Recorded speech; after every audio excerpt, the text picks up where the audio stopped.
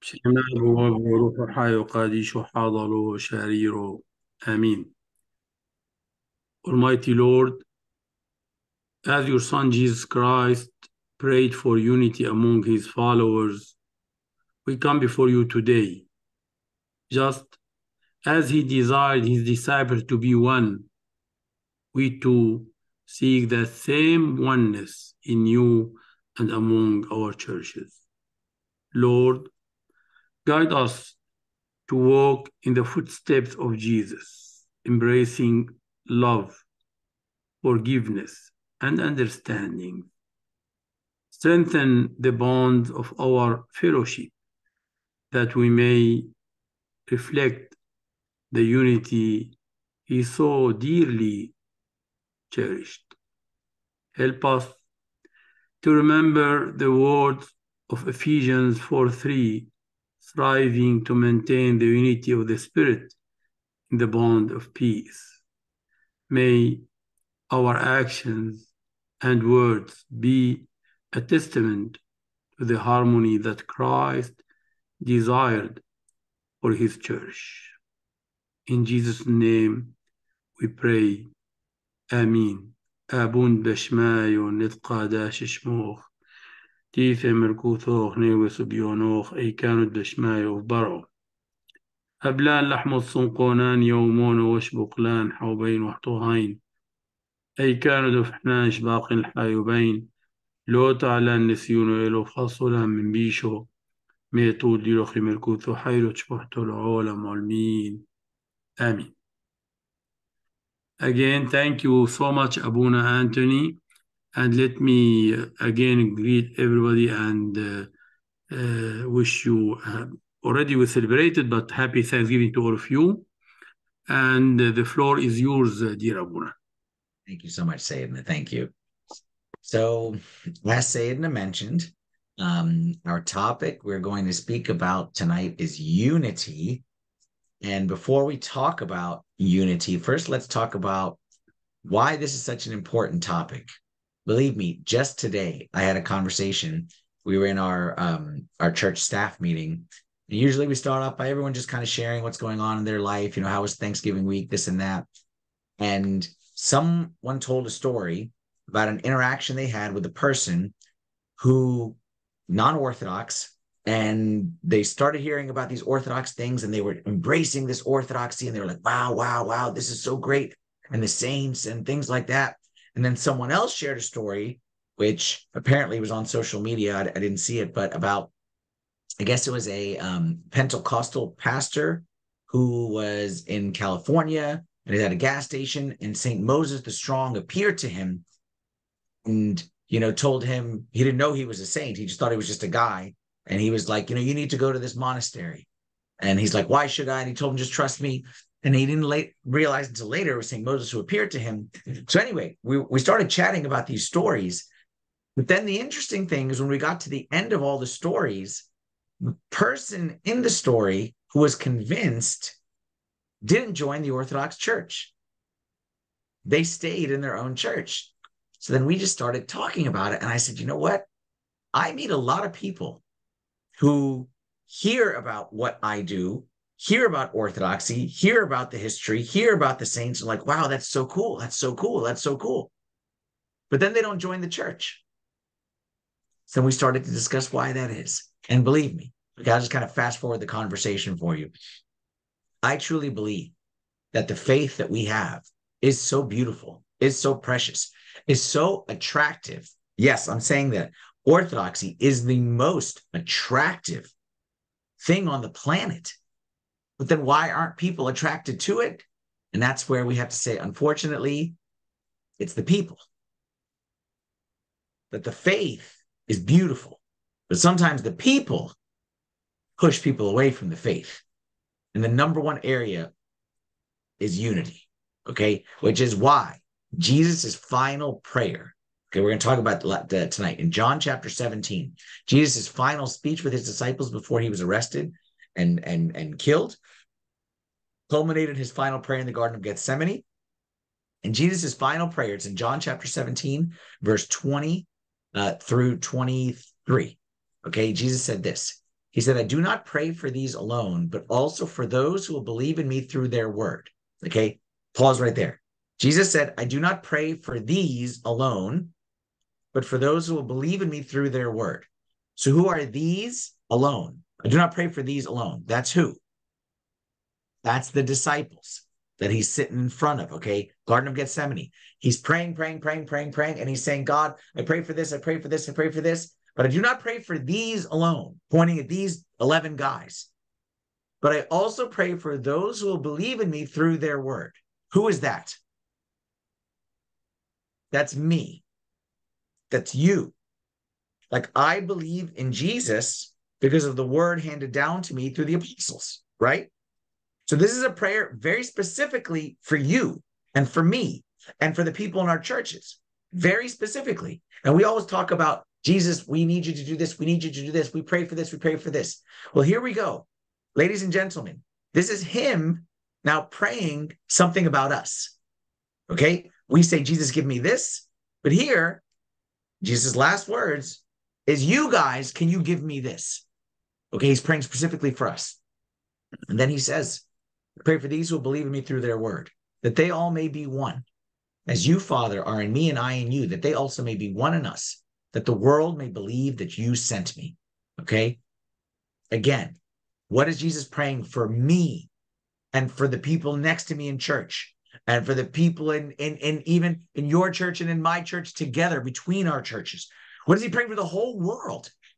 He's saying for the people who believe in me through their word, they may be one as you, Father, are in me and I in you, that they also may be one in us. And then here we go. This is now the part that relates to what I said earlier about people loving the faith but not joining the church. That the world may believe that you sent me. Okay. So, in other words, what Jesus is saying is this is mission critical. Our unity together. Sometimes we think of unity as like a, you know what, like be nice to each other, behave, like make mommy and daddy proud. No, no, no, no. Based on what Jesus is saying, this is mission critical. Like the whole operation is based on this that people may believe in you is based on us being unified with each other. And if you think about it, you look in the world today, we have never lived in a more divisive world than we live in today. Any area of life. So it used to be when we were kids. Okay, I know y'all are young people, but back me, yeah, I was, I was, I was born. Here's what my kids like to say. I was born in the 1900s. Okay. And I was raised in the 1900s. Okay. So you guys don't know the 1900s, but back in the 1900s, we used to be able to have civil dialogue with each other, politics. And we used to be able to disagree with each other. And you know what? Like it's okay. It's not the end of the world. Now, no, you're either with me or you're against me. You're either right or you're a heathen, a pagan, a devil. Okay.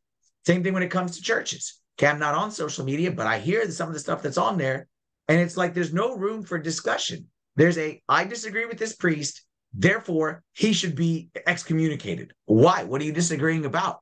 I disagree that the coffee should be here, not here, or that the chair should face this way, not this way. And it's like, this guy doesn't know what he's doing, and this guy, where, where, where, where'd it come from? Like the way I say this in our church, okay, if I had to come up with like a, a way to summarize this, I say it this way that we don't need to see eye to eye in order to walk hand in hand. Let me say that one again. We don't need to see eye to eye on everything. Some things we need to see eye to eye on. We need to see eye to eye on we believe in one God, God the Father, Pantocrator, creator of heaven and earth, all things like our faith. That's, but I'm saying we don't need to see eye to eye on everything in order to walk hand in hand. Look at, if you don't believe me, what would it be like if there was a group of people who are very, very different, but they were able to work hand in hand together. Look at the disciples. Okay, you know the disciples. Were the disciples all similar opinion? Same political background, same educational background, same socioeconomic background. I mean, if you think about it, the disciples could not have been more different. Okay. Like sometimes I think about, like, you know, we'll go with St. Peter. St. Peter was one of the early adopters. Okay. He came when Andrew was, was like the first one to come to Jesus. He went and got his brother Peter and said, Come and see. So Peter was one of the early guys. So Peter, put yourself in Peter's shoes. Here's Jesus. He's telling me, um, you know, all these things. I've heard good things about him from Andrew. Seems like he's a good guy. It seems like he's going to take the world by storm. You know what? I'm in. I'm going to join forces with him. And I feel like, you know, this is going to be a special group of people. He's building an army, a spiritual army. It's going to be a special group of people. And I'm going to get in on the ground floor. Okay. And we're going to take over the Romans and we're going to take back, you know, our faith. And like, this is going to, we're going to start a revolution. Jesus is going to be great. And then Jesus goes out and says, okay, first person we're going to invite after you, we're going to invite Levi, the tax collector, who's Matthew, the gospel writer. And Peter's thinking, what? Are you sure you want him? Like nobody likes that guy. Like we don't like that guy. And the people that we don't like don't like that guy. Nobody likes that guy. So Peter's thinking, okay, Jesus, okay, you obviously you had very good taste. You picked me as the leader. Okay. And then you made a mistake with Levi. No big deal. We'll move on past that. And then Jesus went and got Simon, Simon the Zealot.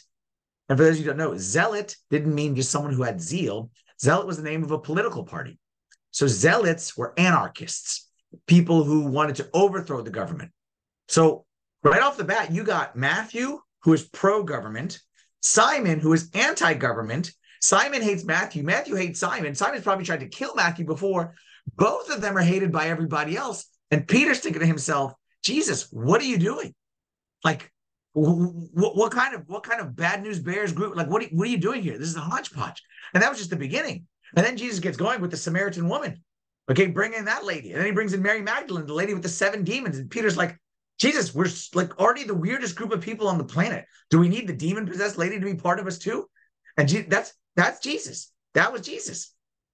Everywhere Jesus went, this is an important point. Everywhere Jesus went, he went beyond what people thought was okay. And what, what he did is he sought people who were different and he brought them in and united them in him. And I think he did it on purpose. I don't think it was by accident. I think what Jesus was saying to the whole wide world is that my church, my church will be the most diverse place on the planet, but it will be united in me. And did you know, ladies and gentlemen, that the early church, the early church, at a time when the world was more divided even than it is today, back then it was all class system. So you had, for example, you had masters, and then you had servants, and they were totally separate. All, all through society, servants and masters were never ever together except one place. There's only one place that a servant and a master would sit side by side. You know where that was? A church. Nowhere else. Nowhere else on the planet in first century world, in the ancient world, did you have men and women being the same in anything. Women were completely second class, even third class, to be honest. But in church, in Christ Jesus, there's no male, no female, equal in God's eyes. Is revolutionary. Okay, children, that's the other one. You know, children, like today, we're like for the children, the children, the youth, the children. Children back then had no value. Children were worthless unless you could add value to like unless you could work you really had no value so they had no children were there's a dime a dozen but jesus gave honor to the children so the point here is this what jesus is saying is there's no rich or poor there's no left or right side of the aisle. There's no classes. With me everyone is united in me. Okay? And i'll show you a verse here from isaiah chapter 56 verse 7 says, My house, this is Old Testament, even before New Testament, my house shall be called a house of prayer for all nations. My house shall be called a house of prayer for all nations. So, what I want us to do real quick here tonight, okay, I want us to take this concept of unity, which we've all heard about, we know it's the right thing, but I want to try to make it practical because unity is one of those things that's very easy, excuse me, very easy for us to agree on. No, like if I say we need unity, Who's going to be like, no, I believe in division? Like, no one's going to say that. We're all going to agree. But how do we turn that into action? Like, what can I, how can I make that actionable? So I want to give you three ideas, okay? Mindset shifts. It's really a mindset more than anything else. Three ideas that you can begin to practice, okay, starting in here, that can make a huge difference in our church, okay, in our churches, make a huge difference in the ministry, they can make a huge difference. Most of all, none of those things matter as much as one thing huge difference in the heart of, of God. Because again, that is what Jesus prayed for. And instead of me, like what I'm going to tell you, I'm going to repeat this again at the end. Instead of me t- saying to Jesus tonight, Jesus, answer my prayer. Tonight, I want to say, Jesus, I want to be the answer to your prayer. Okay. Three mindset shifts.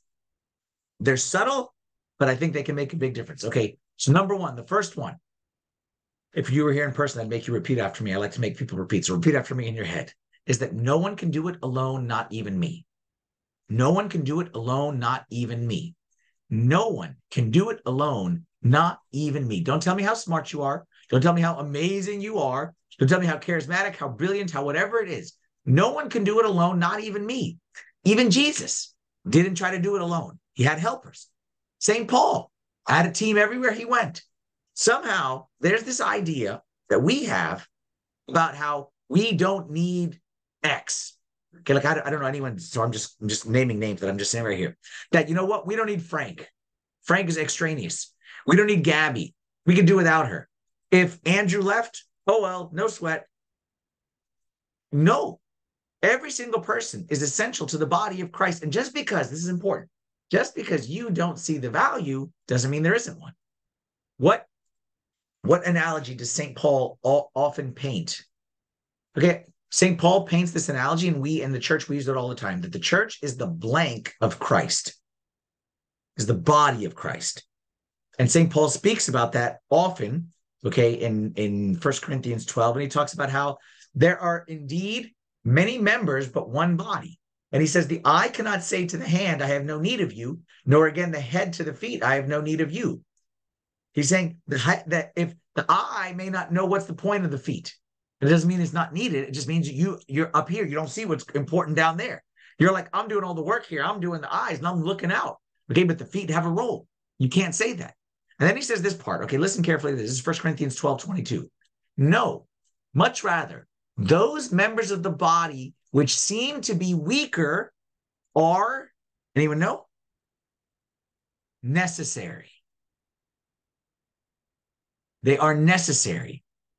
And I'm telling you, okay, as someone who, like, my whole life I've given to the church. Yeah, that's all I have in there. I have my family and my church. That's all I got in this world. There are times I'm I'm honest. I'll confess in front of Sayidna. There's times I look at certain people and say, church would be better off without them. Church is better. I know my life would be better without them.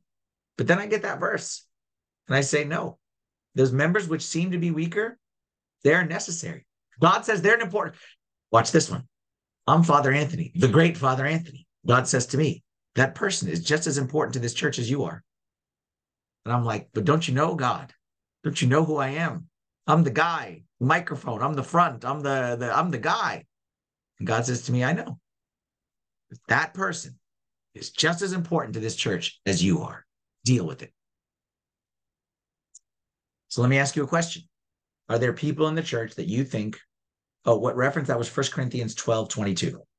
Are there people in your church sitting in the pew next to you, or in front of you, or behind you that you think to yourself, they're not that important here?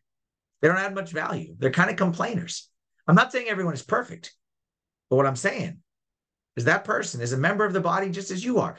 And just because just because I don't know what the pancreas does, what's my pancreas do? Get rid of the pancreas. That doesn't do any, any value. Gallbladder. Who cares about a gallbladder? Like I'm here, I'm hands, I'm fi- no. I mean, I don't know, but I assume a gallbladder is at some value at some point. So there's people in your church. And I got to be honest, maybe some of us, we have to raise our hands. Maybe that was us. I mean, I know for sure there was a time where I was a member of the church. I added no value, but thankfully somebody saw some value in me. And here I am today. So maybe there's people in your church that are the same way. We tend to think that there's my way and then the wrong way. So if someone isn't like my way, doesn't think my way, doesn't agree with my opinion, then they're wrong. Get rid of them. But I'm telling you, it's one of the things that I pride myself on here at our church at STSA. If you ever to come in, we are a very diverse group of people.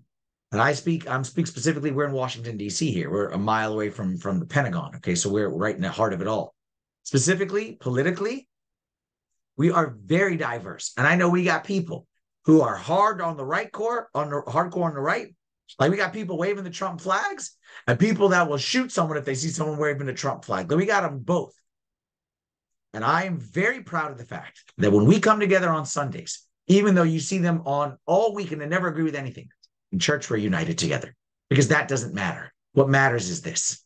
And we don't need to walk, we don't need to see eye to eye on politics to walk hand in hand in the church. We don't need to see eye to eye on, on extraneous matters in order to walk hand in hand on the things that matter the most. Okay. So that's number one. Nobody can do it all alone, not even me. No one can do it alone, not even me. Second one. This is hard. Each one's going to get harder. The second one I will choose to believe the best about others, not assume the worst. Again, I will choose to believe the best about others, not assume the worst. In other words, you're going to have to guess at some point. There's going to be a lot of things that you don't know for a fact. You're going to have to guess. I've made a decision in my life. If I'm going to be wrong, I would rather be wrong on the side of believing the best versus assuming the worst. Like I would rather get up to heaven and God tell me, Father Anthony, you were way too loving.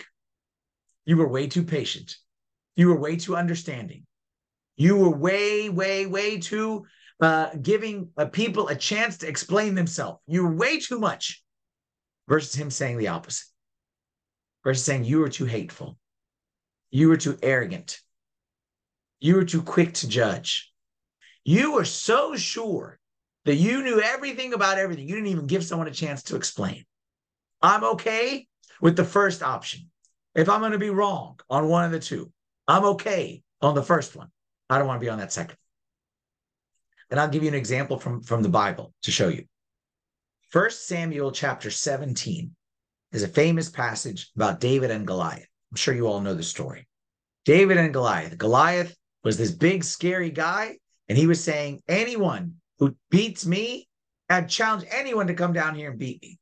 All the Israelites were scared. All the warriors, all the soldiers were scared. They were terrified. David wasn't with them because David was off uh, taking care of the sheep back at his house. And then one day, David's father tells him, I need you to go to your brothers who are over there with at the, the place where Goliath was. I need you to take them their lunch. Okay, they left their lunch at home. Go take them this lunch. Go bring them their food. And when David got there, okay, I'm going to read to you what it says. This is First Samuel chapter 17, verse 28. Okay. It says, When Eliab, David's oldest brother, heard him speaking with the men, he burned with anger at him and asked, Why have you come down here? And with whom did you leave those few sheep in the wilderness? David's brother, the oldest brother, sees his younger brother David coming and saying, Why did you come down here? Why we burned with anger? Why did you come down here? Who did you leave the sheep with? And then he says this part, okay? I know, I know how conceited you are and how wicked your heart is. You came down only to watch the battle. That's tough. You know why? Because David's brother, Eliab, was 1000% sure that he knew why David was there. And he couldn't have been more wrong.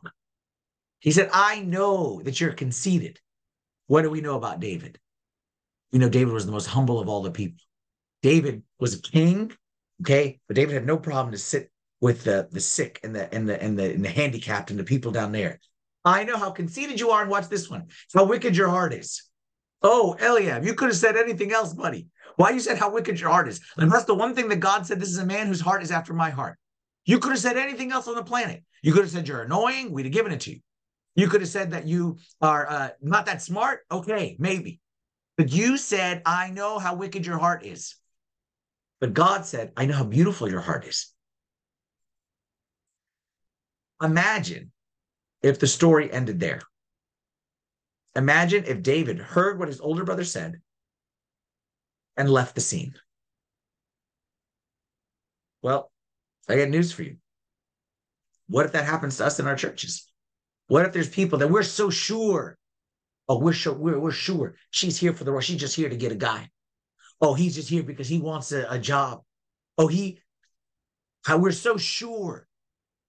Well, I'm saying if we're going to fulfill Jesus's answer or fulfill Jesus's prayer and be an answer to his prayer, we will choose to assume the best versus believe the worst. We will choose to err on the side of being too believing versus being too judgmental. We will go the extra mile and say, you know what? No, I think they meant this.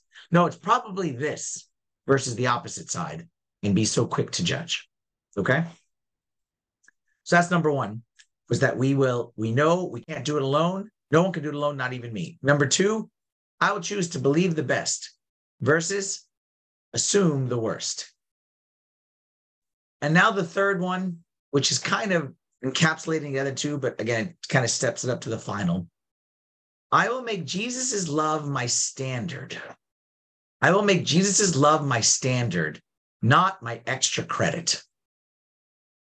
I will make Jesus's love my standard, not my extra credit. You know what I mean by that?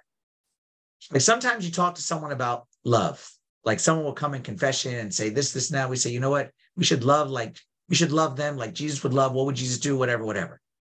And then someone would say, okay, you know what, but Father Anthony, I'm not Jesus. I'm not Jesus. meaning like, that's Jesus. I'm not Jesus. Okay. What I want to say to that is, okay, but you know, you're not like him, but you know, he was like you. Like Jesus became man just like me. Jesus was fully human. Jesus walked the same road. Jesus was tempted the way I was tempted. Jesus was stabbed in the back the way I was stabbed in the back. Jesus was betrayed the way, even actually, I want to say, to be honest, was in ways that we weren't.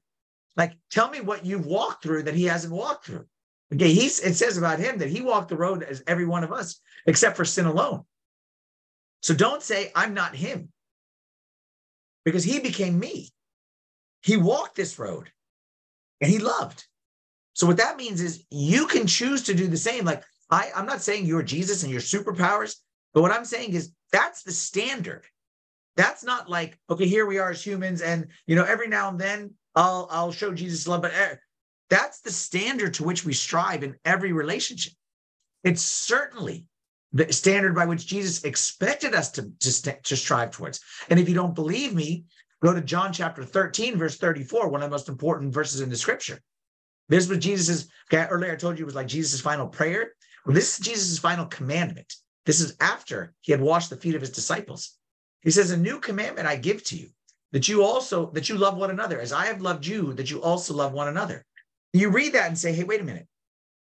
Jesus, Jesus, why is that a new commandment? Love one another. It doesn't seem like a new commandment. Like hasn't hadn't he told us about why did Jesus say a new commandment that you love one another as I also, as I have loved you? Was love a new commandment? Love was not new, but the new part was as I have loved you. Because Jesus started off, you know, the golden rule. Okay. The golden rule is love others because you want them to love you. That's the bottom. That's the first thing Jesus said. That's not the last thing he said. That is not the standard in Christianity. That's step one. Okay, that's just that's just that that's just eye for eye, tooth for tooth. That's tit for tat. Okay, do unto others you would have them do unto you. That's the bottom. After love others uh, uh, as you want them to love you, step up from that was love your enemy. And we're like, whoa, that's hard. Okay, but that's higher than this. But then actually, Jesus took it to a much higher level which is love as I have loved you. That's what makes it new is is is the context in which it's given. And again, Jesus didn't give this in the beginning because in the beginning, love as I have loved you. Okay, who are you? What did you what did you do? Five loaves, do fish, walk on water. Okay, big deal. Jesus said, no, no, no. I'm not going to give you this commandment until I've done everything, until I rolled up my sleeves and washed your feet. And then I give you this commandment. And in case you're still not convinced, stay tuned. This is Thursday night, Holy Week. Stay tuned because in about 24 hours, you're going to see a new level of love that you didn't even think was possible. Jesus didn't think that love one another was, I'm sorry, was extra credit. He saw it as that's the standard by which we operate. And right after that, he gave that commandment in John 13, 34. The next verse that he gave, now we've come full circle. After he said, Love one another as I have loved you, that you also love one another. John 13, 35, he tells us why it's so important. Now we go back to where we started. By this, all will know that you are my disciples if you have love for one another. By this, all will know that you are my disciples if you have love for one another. Notice what he did not say. He didn't say they'll know you're my disciples if you all know vote for the same candidate. Then they'll know you're my disciples. If you all vote right, you all vote left. That's how everyone will know. How else will they know? Unless they unless you tell them who you're voting for. He didn't say they'll all know that you're my disciples if you all speak the same language, or you all think the same way, or you all raise your kids the same way, or you all like the same football team. He said, no, he said it's the exact opposite. What's going to make them know you're my disciples is that you don't think the same way, yet you're united on this. That you don't vote for the same person, that you don't view the world the same way, that you have different backgrounds, that you have diverse ways of thinking about the world, but you are united by something so much greater, which is me. The unity is in Christ, not in, I will say this in our church. What makes us united is not that we're people of common interests. That's a country club. A country club is everyone who comes from this background, who thinks this way, you're united together in that. That's not us. We're rich and we're poor. We're left and we're right. We're New York and we're DC. Okay. We're Cowboys and we're, I was going to say Redskins. We're not Redskins. We're Commanders. Okay. Can't say Redskins anymore. Sorry. Delete that part out. You know what I'm saying? We're Red Sox and Yankees. Okay. We are, we're everything. That's who we are. But we're united in Christ, is what it shows. Think about how powerful this witness is. This is what Jesus is saying. Think how powerful it is. If everything in the world should divide us, yet we say none of this matters because he matters. Think how powerful a witness that is. And maybe, now going back to where I started, maybe those people who believe in orthodoxy but don't join the Orthodox Church, maybe they're seeing the exact opposite. Maybe that's why they're not joining. Maybe what they're seeing is people saying, if you think like me, and if you talk like me, you raise your kids the way I raised my kids, you agree on everything I agree, then you can be united with us. But that's not what Jesus did. Our unity is so much greater than that. So, bottom line, I'll give you one question to ponder for a little bit right here. And I heard this one time I went to a conference for pastors and, and, and, and church leaders, and they put something up on that screen. And I'm telling you that, that it was one of the things that messed me up, okay, in my head, is ever since I couldn't get it out of my head. And he said this He said, Imagine a world where people were skeptical about our beliefs but envious of the way we treated one another. Let me say that one again. Imagine a world where people were skeptical of our beliefs, but envious of the way we treated one another. Said another way, imagine a people like I'm just making this stuff up. Imagine that your your coworkers, your neighbors, your classmates, whatever it is, are like, you know what? You Christians, you Orthodox Christians, y'all are weird. Y'all do weird things. Y'all stay in church for weird number of hours. Your leaders dress weird. Everything about you is weird. You like sometimes eat food, sometimes you don't eat food. You have weird menus. But you know what? I hope my daughter marries one of you. Because I see the way the men in your church, I see the way they treat their daughters and their wives. I don't know what you believe. I don't think I believe what you believe. But if my daughter brings home one of your guys, I'd like that. I don't know what you guys do for those long hours in church, but I tell you what, I like it when I hire one of you to work on my team. Your people, okay, your people are the best people on my team. I think y'all are crazy. I think y'all are nutso. I think you guys believe in some Santa Claus God or whatever it is. But I like having you around on my team. Can you imagine that? Can you imagine that? Imagine if they said to our church, they said, You guys, again, I don't understand what you guys do for so many hours, but we're glad you're in our neighborhood. Can you imagine that? It's actually something I always say at STSA is as our goal because we now we have a church building, but for the last 12 years we haven't. So we've moved around a little bit. I said our goal is that when we leave from one venue to another, is that the people will say, No, don't go. You guys are a blessing to us. The way you guys treat one another, the way you treat us, the way you treat the community, we want you to stay. We don't want to be part of you okay, because we're skeptical about your beliefs. But we envy the way you treat one another. That's Jesus' whole point. We talk about our theology and we say, come join us because we are the right ones. Come, come, come, come, come, come, come. I always thought the world what the world needs. That's not gonna, this preaching never won anyone to the faith. Love is what wins people to the faith. And maybe that's why I'm done after this. Maybe that's why Jesus' final prayer was exactly that. It wasn't, Lord, let them be pure. They wouldn't say, Lord, let them not gossip. It wasn't, Lord, let them read their Bible and go to church on Sunday. He didn't pray for that. He said the whole thing, the whole mission, that they may be one. Because if they're one, if they are one, I'm saying this about you guys and about me, about if they are one, we are unstoppable. We're unstoppable. If they are one, this operation cannot lose. But if they're not one, then unfortunately, it can't succeed. So I'll leave you all with that to think about. Jesus' final prayer. No one can do it alone, not even me. Number two, I choose to believe the best versus assume the worst. Then number three, Jesus' love is my standard, not my extra credit. Okay. If anyone has any questions, I'd be more than happy to answer them. Or if Satan has any comments, please feel free. Abuna, thank you very much. I was really blessed to, to be with you today in this uh, Bible study. And it resonates a lot to me because I always tell everybody that uh, it's easy to summarize the whole Bible. Not, I don't want to talk only about the New Testament, but of course, the New Testament is a little bit more in only one word love. But uh, uh, today I like what, what you you mentioned and and you stressed a little bit more as I loved you, you know, as he loved us, and he he paid a heavy price. He died for me, for you, for everybody else. So and and this is to me a, a new, even though I'm I'm a bishop, but it's a new notion or concept of unity if you pretend to have the whole, of course, we have the, we have the truth.